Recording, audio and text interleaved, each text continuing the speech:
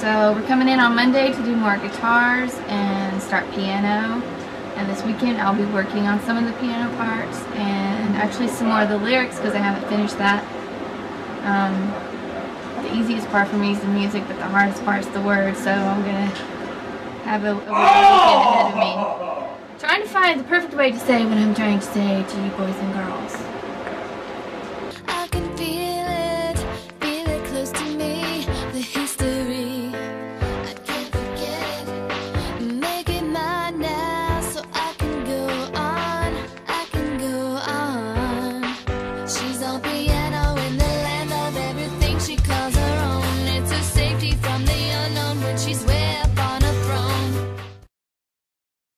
Okay, so I'm at home now at the Jag Star house, and it's Tuesday night, 10 o'clock. I'm very tired, but I'm going to record some piano here at home through a process called uh, MIDI, and I'm going to record the piano for this house um, and also home, and I'm going to take it into the studio in the morning and um, give it to Travis. He'll put it in the song, yakety yak.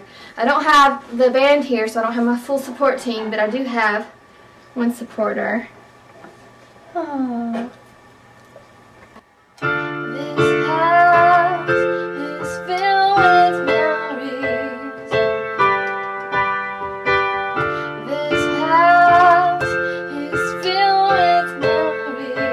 in the studio, you're just so focused, concentrating on one thing, and that's just making that recording. Everything else kind of disappears. So it's definitely time to make a new album. Uh, not just for us, but for our fans too. They've been so loyal. We felt like we needed to really deliver something else that they would like.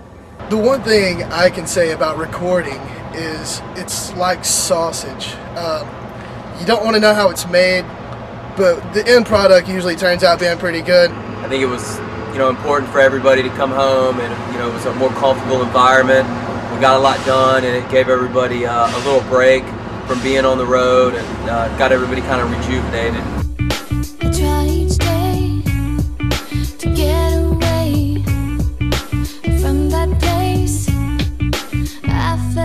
Felt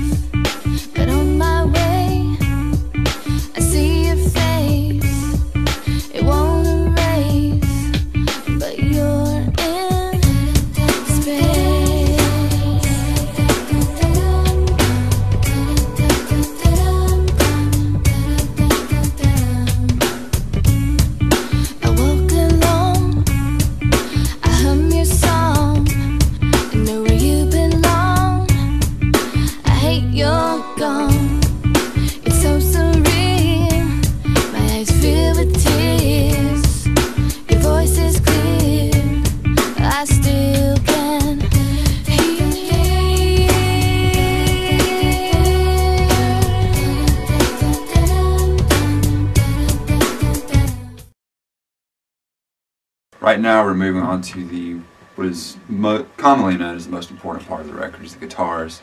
And um, Yeah!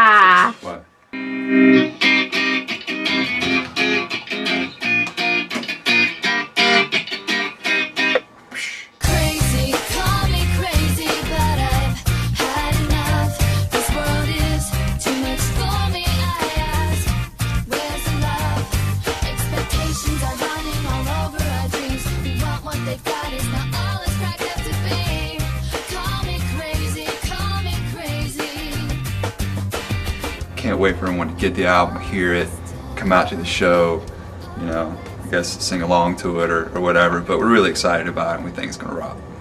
I just want the album to be something that I love and I'm proud of and I want to be able to put it in a CD player and just think it rocks and be something I would like to listen to and then if other people like it that'd be awesome. I hope they do. I think they will. And I want to put it in a CD player and just yeah, you know when it plays. And if that happens, it's successful to me because I don't care how many people buy it, it'd be awesome if 50 billion people bought our CD, but I just do this because I love music and I had fun recording it, and that's like half of it right there.